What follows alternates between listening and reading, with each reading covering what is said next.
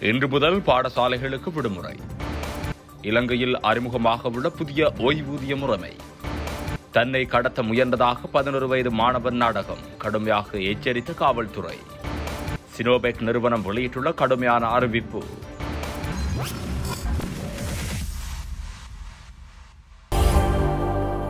நாடளாவிய ரீதியில் அனைத்து அரசு பாடசாலைகளும் இன்றுடன் விடுமுறை வழங்கப்படவுள்ளதாக கல்வி அமைச்சு அறிவித்துள்ளது. இரண்டாயிரத்தி இருபத்தி இரண்டாம் ஆண்டு கல்வி ஆண்டுக்கான கல்வி பொதுத்தராதர சாதாரண தர பரீட்சை எதிர்வரும் இருபத்தி ஒன்பதாம் தேதி தொடக்கம். அடுத்த மாதம் எட்டாம் தேதி வரை நடைபெறவுள்ள நிலையில் இவ்வாறு பாடசாலைகளுக்கு விடுமுறை வழங்கப்படவுள்ளது. மேலும் அடுத்த மாதம் பன்னிரெண்டாம் தேதி பாடசாலையின் கற்பித்தல் பணிகள் மீள ஆரம்பிக்கப்பட உள்ளதாக கல்வி அமைச்சு தெரிவித்துள்ளது. இலங்கையில் எதிர்காலத்தில் புதிய ஓய்வூதிய முறை அறிமுகப்படுத்தப்படும் என சமூக வலுவூட்டுகை ராஜாங்க அமைச்சர் அனுப பஸ்குவல் தெரிவித்துள்ளார்.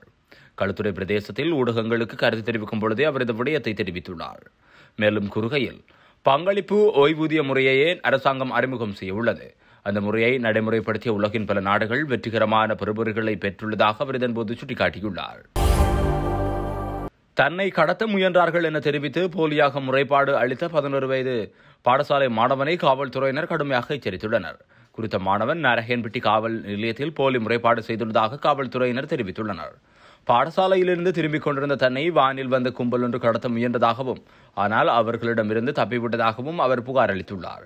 எனினும் விசாரணையின் போது இலங்கையில் சுறார்களை கடத்த முயற்சிப்பதாக அண்மை காலமாக சமூக ஊடகங்களில் வெளியான காணொலியை பார்த்து கதையை உருவாக்கியதாக மாணவன் தெரிவித்துள்ளான். செவ்வாய்க்கிழமை கொழும்பு பார்க் வீதியூடாக பாடசாலை முடித்துவிட்டு வீடு திரும்பிக் கொண்டிருந்த வேளையில் வேனில் வந்த குழுவொன்று தம்மை கடத்த முற்பட்டதாக பம்பலப்பட்டியில் உள்ள ஆண்கள் பாடசாலையொன்றின் மாணவன் தனது தந்தைக்கு அறிவித்துள்ளதாக விசாரணைகளில் தெரிய வந்துள்ளது அவர்களிடமிருந்து தப்பிவிட்டதாக மாணவன் மேலும் தந்தையிடம் தெரிவித்ததை அடுத்து தந்தை மகனும் காவல் நிலையத்தில் முறைப்பாடு செய்துள்ளனர். முறைப்பாட்டின் அடிப்படையில் விசாரணைகளை முன்னெடுத்த நரகேன்பட்டி காவல்துறையினர் குறித்த நாளில் அப்பகுதியில் உள்ள சிசிடிவி காட்சிகளை கண்காணித்ததில் அவ்வாறான சம்பவம் எதுவும் இடம்பெறவில்லை என கண்டறியப்பட்டுள்ளது.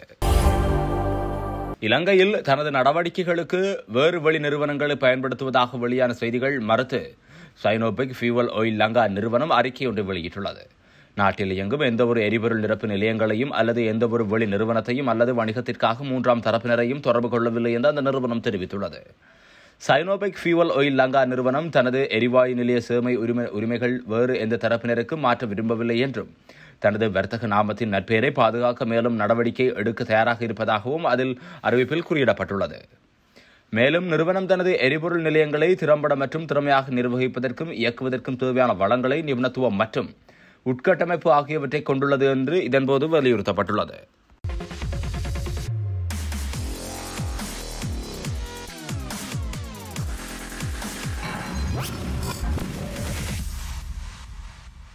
இன்று முதல் பாடசாலைகளுக்கு விடுமுறை.